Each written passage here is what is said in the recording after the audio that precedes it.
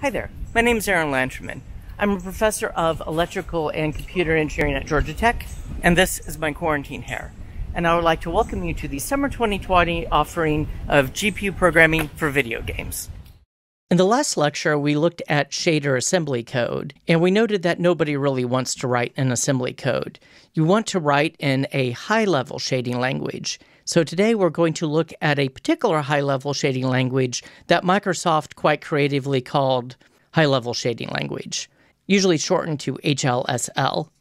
Now, HLSL, developed by Microsoft, and CG, developed by NVIDIA, did start out different, but they very quickly converged to being more or less the same thing. So people will tend to use the term HLSL and CG interchangeably, although I think HLSL is now the more common term. CG was at least a little more creative. I think it stood for C for graphics.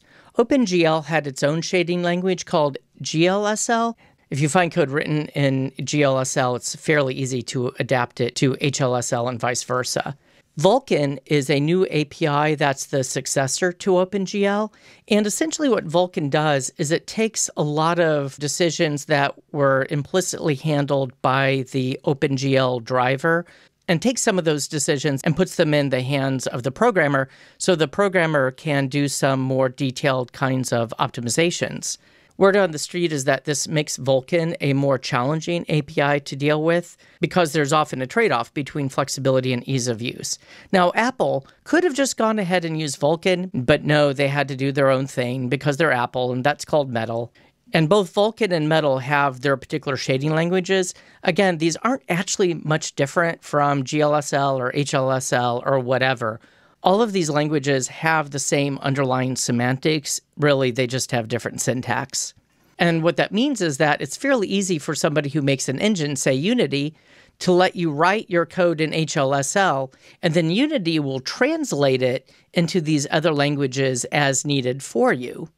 From this point on, I'll mostly say HLSL, although everything I say about HLSL you could also apply to CG.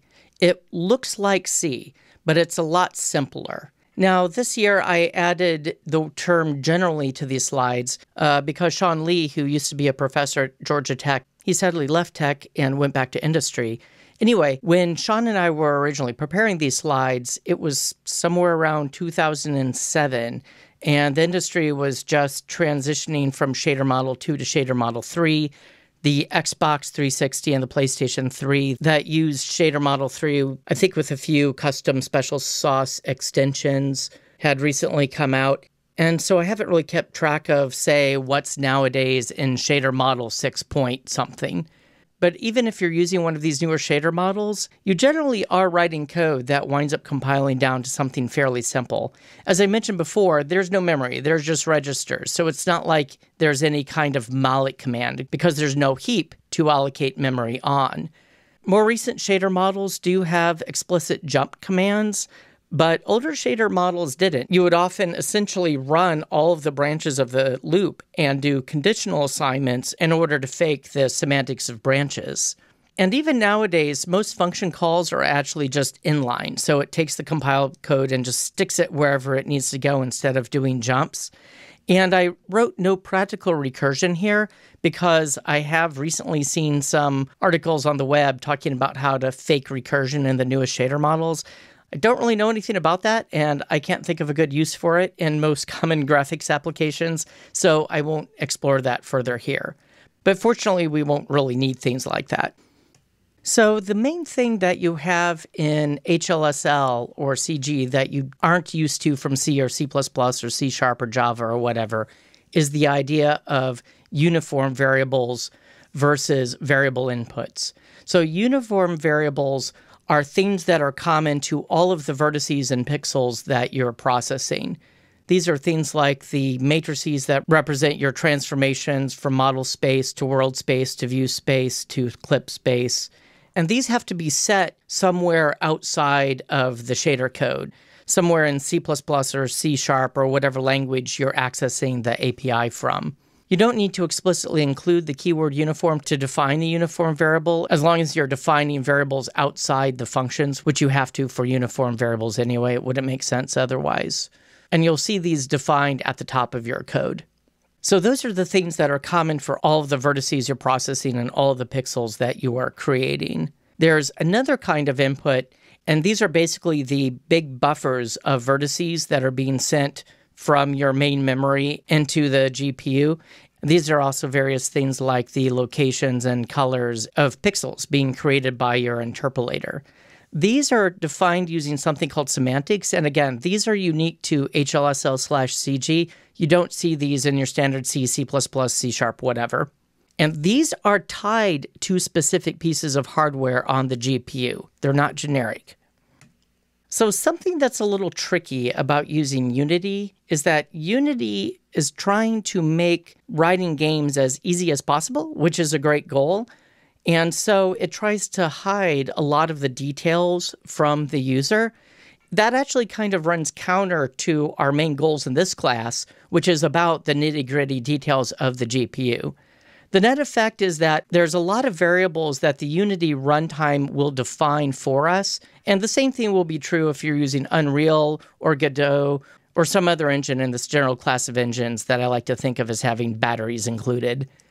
Inevitably, once you get to a certain level of sophistication, you will have to create some of your own variables that you define using a custom script. Now, if you're writing either in raw DirectX or OpenGL or Vulkan or Metal or whatever, and you're probably writing in C, then you have to do all of this yourself. You don't have a Unity or an Unreal runtime assigning these variables for you. Similarly, although people would occasionally call XNA a game engine or Monogame, which is an open source rewrite of XNA a game engine, it's really a game focused API. It's essentially a .NET layer that sits on top of DirectX or OpenGL or whatever. It's not really a full game engine. Again, in XNA, you needed to define and assign all these uniform variables yourself. The first six years that I taught this class, we used XNA. So in those early examples, we had to do all of that explicit assignment. Here, Unity is handling a lot of it for us. And the kind of information that you have here, such as, say, the positions and colors of lights, these are stored in the constant registers that we looked at in the last lecture. And again, these are called uniform because these will stay the same for all of the vertices and pixels being processed by your shader code. So here's an example of some semantics. The variable name you give it is more or less up to you. Now, Unity has certain conventions that it likes to use, and I'll more or less stick with the conventions, whatever I find in the code. Um, but sometimes I don't. It just depends on my mood. The semantics are defined by these keywords, and they go after this colon, and these are in capital letters, and you don't get to pick these. You can't just make up one and call it Fred, because these are actually tied to specific pieces of hardware on the GPU. So these serve certain functions. For instance, texcoord 0, texcoord 1, etc., those are tied to the interpolation hardware. And when you're passing a big chunk of vertices and a big array of indices into that table of vertices that define various triangles, the calls in the API that you make reference specific things like positions and things like normals. Now, the renderer that's built into the Unity runtime will handle a lot of this for us, but uh, if you're writing your own game using Monogame or just raw C++ with DirectX or OpenGL, then you have to define these buffers, load the vertices into it, make all those API calls that takes those buffers and sends it over to the GPU, et cetera, et cetera. Here, Unity will handle most of it for us. Now, if you want, Unity has built into it abilities to call the lower level routines. So if you wanted, you could just ignore the rendering capabilities of the Unity runtime and write it all manually, although that would be pretty painful. And you generally only do that if you had some weird special case where most of your game you're handling using the usual Unity rendering routines, but you may have this one odd effect that you wind up doing manually. Generally, you want to avoid doing that. It negates the main purpose of using something like Unity to begin with. So these semantics connect the CPU side to the GPU side, and then they connect the various hardware elements of the GPU. So most of the math operations we're going to do in shader code involve either floating point values or vectors and arrays of floating point values. The bad news about shader code is that you don't have pointers, so you can't create and use sophisticated data structures. The good news is that you don't have pointers, so you don't have pointer bugs. So we don't have any of the usual syntax associated with pointers. Now, Shader Model 4.0 did introduce integers and all of your various operations on integers. But come to think of it, I can't recall seeing any examples of shader code used for 3D graphics that uses this stuff. I think this is mostly kept around for if you're using a more general purpose GPU programming framework to mine bitcoins or something, or do cryptography or something. So before we delve in further, we need to talk a little bit about vectors in HLSL and particularly how to multiply them. So, in a language like MATLAB, there's this notion of column vectors and row vectors. In HLSL, and I think a lot of other shader languages, there's not the same kind of notion. There's just vectors and matrices. And how you interpret what's a row vector and what's a column vector really depends on the way you use the multiply command.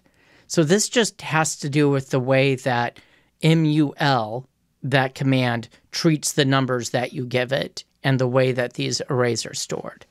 So if you put the vector in front of the matrix, you can interpret it in the usual way as multiplying a row vector by a matrix. If you put the matrix before the vector, you can interpret that in the usual way of post multiplying a matrix by a column vector. But if you want to treat your vector here as a column vector, you can go ahead and put the v in the first argument, and that would correspond to multiplying that column vector by the transpose of the matrix. Similarly, you could, if you want to, think about v as a row vector, but put v second in the multiply command, and that's equivalent to post multiplying v by the matrix transpose. This can cause a great deal of confusion when you're looking at different textbooks and various examples of shader code you'll find online because it sometimes seems unclear about whether it's a row or column vector. And the answer is it depends on how you're treating it, it depends on how you're thinking about it. The net effect of this is I can't think of a single example of shader code I've ever seen where there's been an explicit transpose command used. In any case where transpose is used, either it's pre computed on the CPU side and sent in as a uniform parameter, or it's basically involving using this mul command in a certain way and interpreting the results in a certain way. So, although in something like MATLAB, you'll quite often see people write V and then put a single quote after it to do the transpose operation, you just don't see stuff like that in shader code. That takes a little bit of time to get used to. So, HLSL and most other shader languages will have a lot of commands built in. There's things that you would expect to take dot products and cross products. Of course, if you wanted to, you could write these out explicitly. Find distance between things. One interesting thing about the linear interpolation command is that your f doesn't need to be between 0 and 1, so you can sort of extrapolate to the different extremes. This lit command is a little weird. It maps to a shader model and assembly instruction where if you pre-compute your normal vector dot product with the light vector and your normal vector dot product with the half vector, it will compute this old school Blinn-Phong lighting model Although every place I've ever seen an actual piece of shader code that implements Blinn-Phong, they don't actually seem to use that command. They just code the various equations directly. So who knows? Anyway, we've already talked about multiply a bit. Normalize does exactly what you think it does, and you wind up using that a lot.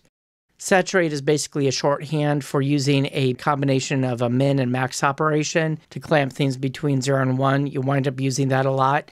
When we get to environment mapping, we'll need to use this reflect command. And now the sincos command, that's kind of interesting because all of the other commands on this list take a particular input and then provide a given output like a function does. Here you give it an input, but the actual outputs are placed in this SNC component. So HLSL can have functions that assign outputs to things inside the parameter list, although that's not fairly common in most of the library functions. And yes, in case you're wondering, there is a specific shader model assembly instruction that produces the sine and the cosine of a number in one instruction. And if you're wondering where you might use that, remember the rotation matrices. If you just think about an object at a certain position and orientation, those sines or cosines are things that will be pre-computed to create some sort of matrix that you're applying to all of your vertices. But you might imagine doing some sort of rotational animation inside the shader code itself, in which case a command like this might come in handy.